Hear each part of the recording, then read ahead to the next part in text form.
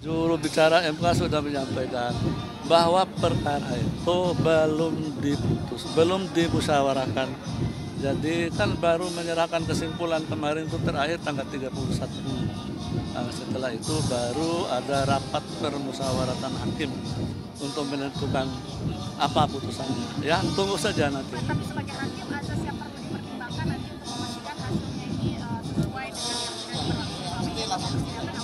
Semua dipertimbangkan, ya. Pak akan diinvestigasi nggak Pak soal kebocoran? Iya, Ah, itu saya bilang apa yang bocor orang belum putus.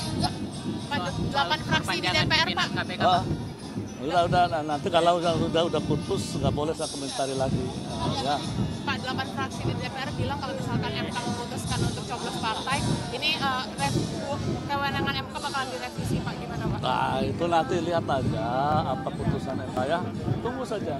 Insya Allah dalam waktu dekat. Pak, Oke. Pak, satu lagi Pak, ini kan masyarakat khawatir Pak untuk putusannya nanti untuk memastikan ke masyarakat Pak bahwa benar hakim MK ini akan bekerja dengan maksimal. Ada yang ingin sampaikan Pak? Pokok pokoknya MK akan mempertimbangkan segala sesuatu. Ya tunggu saja. soal perpanjangan KPK itu katanya open legal policy harus Ya udah itu yang sudah putus itu silakan membaca di pertimbangan ya. Nanti ada batas Oke. waktunya Pak untuk benar. apa? Untuk nanti memutuskan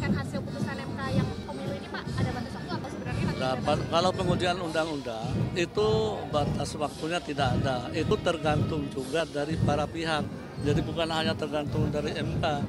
Nah ini yang terkait dengan itu undang-undang pemilu khusus mengenai proporsional terbuka dan tertutup itu pihak terkait yang ada sekitar 15.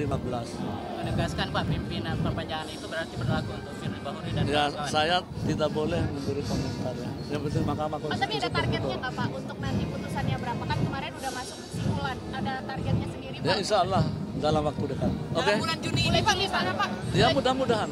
Ya, mudah-mudahan. Ikuti saja.